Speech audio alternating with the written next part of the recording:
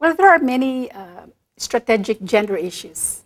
I think we have done enough in terms of uh, understanding gender roles and gender relations and quantifying the roles of men and women in rice production. We have looked or examined the consequences of male migration and livelihood and productivity and gender roles. But now we have to examine also what are the effects of the broader changes that are happening, particularly in climate. How do women adapt or how, what are their roles in mitigating this uh, abiotic or changes in climate change? So we are now embarking in a new study in Eastern India, in Bihar, Northeast uh, India, and also in Orissa, and maybe in Rajasthan, under the IFAD facility grant. We would like to examine the, the effects of climate change on the productivity, but also on the strategies that men and women do in response to this changing climate.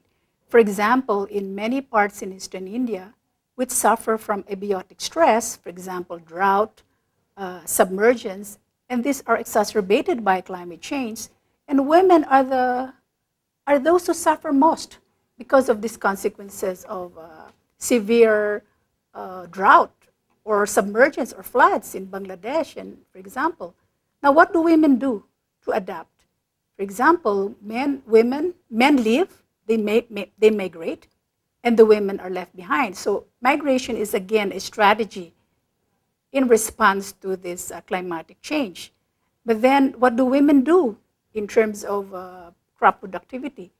Now after rice, they grow different crops which are uh, resistant to drought. This, they, use, they grow secondary crops, they call secondary crops like millets and uh, other crops but these crops are also used as fodder for the animals because livestock is a very important or integral component of the farming systems.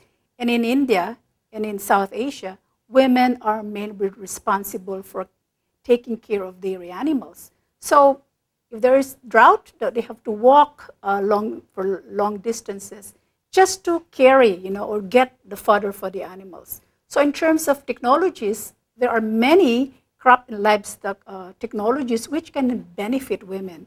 So we need to understand what are the constraints that they face, what are their strategies to adapt uh, to climate change, and what, in what ways they can contribute to mitigate these stresses.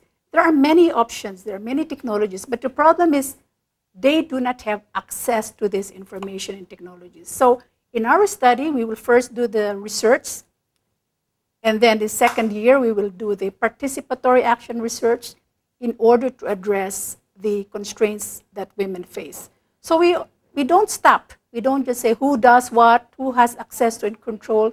We go beyond that and do, we do something to improve the welfare of the family because if we help women, we help the entire family members and we help the entire nation.